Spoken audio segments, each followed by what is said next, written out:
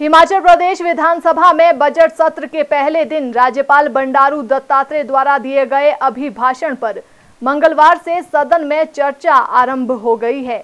भाजपा विधायक राजीव बिंदल ने राज्यपाल के अभिभाषण पर सदन में धन्यवाद प्रस्ताव पेश किया और अभिभाषण के लिए राज्यपाल का आभार व्यक्त किया।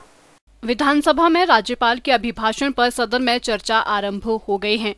भाजपा विधायक डॉक्टर राजीव बिंदल ने विधानसभा में धन्यवाद प्रस्ताव पेश किया। बिंदल ने धन्यवाद प्रस्ताव पर चर्चा आरंभ करते हुए राज्यपाल के साथ विधानसभा परिसर में हुई धक्का मुक्की की घटना को शर्मसार करने वाला बताया और कहा कि पूरे देश में इस घटना को लेकर हिमाचल की छवि खराब हुई है। बिंदल ने कहा कि कोरोना महामारी के बावजूद सरकार की उपलब्धियाँ इतनी अधिक हैं कि इन्हें अभिभाषण में पूरी जगह नहीं मिल पाई। बिंदल ने कहा कि कोरोना महामारी से निपटने के लिए जयराम ठाकुर सरकार ने काबिले तारीफ़ कदम उठाए हैं। उन्होंने कहा कि प्रदेश सरकार ने किसानों, बागवानों, गरीबों और मजदूर सहित सभी वर्गों की चिंता की है। उन्होंने कहा कि कोरोना महामारी के बावजूद सरकार ने विकास को नहीं रुकने दिया और कोरोना काल में ही प्रधानमंत्री ग्राम सड़क योजना पर 717 करोड़ रुपए खर्च किए गए हैं। उन्होंने कहा कि राज्यपाल ने सदन में जो व्याख्यान दिया है, वे सत्य पर आधारित है, वे झूठ का पुलिंदा नहीं है।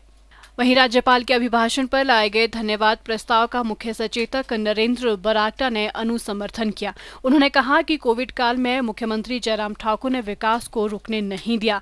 संकट काल में जगह जगह फंसे दो लाख से अधिक हिमाचल वासियों को बाहर से लाया गया और परिवारों से मिलाया गया। उन्होंने कहा कि कोविड से निपटने के लिए मुख्यमंत्री ने हर तैयारी की और स्वयं मॉनिटरिंग की और उसके परिणाम आज सभी के सामने हैं।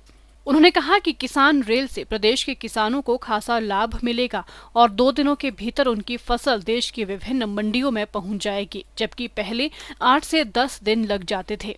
उन्होंने प्रदेश में सीए स्टोर, मार्केटिंग यार्ड और मंडियों के निर्माण को लेकर सरकार की तरफ़ से उठाए जा रहे कदमों की भी सराहना की। इस दौरान विधायक बलवीर विधायक सुभाष ठाकुर, विधायक विक्रम सिंह चरियाल विधायक राजेश ठाकुर और विधायक परमजीत सिंह पमी ने भी चर्चा में हिस्सा लिया। Bureau report, city channel, Shimla.